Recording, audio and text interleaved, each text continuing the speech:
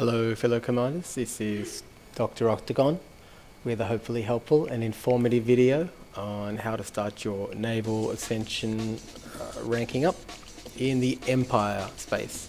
I don't know about Federation, but this works in Empire. Uh, the biggest problem that I was having was finding a system that stocked uh, the ever difficult to find uh, combat stabilizers. And so I'm going to show you where I am with a very laggy video. Uh, this system here, CD dash 51 space 102 is the place to be. It has all the requirements here. It is high tech, uh, empire, and dictatorship. Uh, if you look on the, oh, let me do it, this little thing here, it has the requirements as far as this station here goes. It exports combat stabilizers, personal weapons and non-lethal weapons. I have found several systems that do this while searching through the galaxy map that actually do not have them in stock and they're illegal everywhere.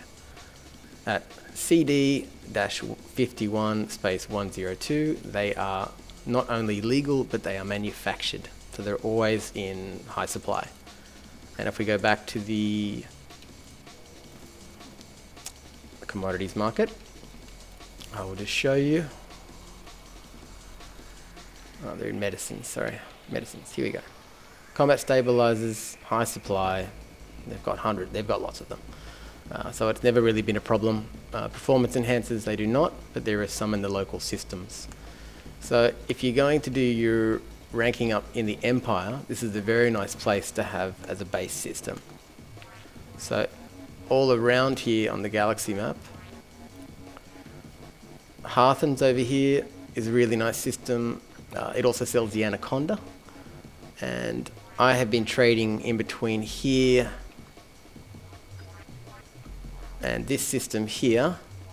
And you can just run gold back to here because they pay a really high price and a couple of machines over here. There's se several systems that are only two jumps away where you can have a very profitable trade forward and back whilst you do your uh, naval ascension missions.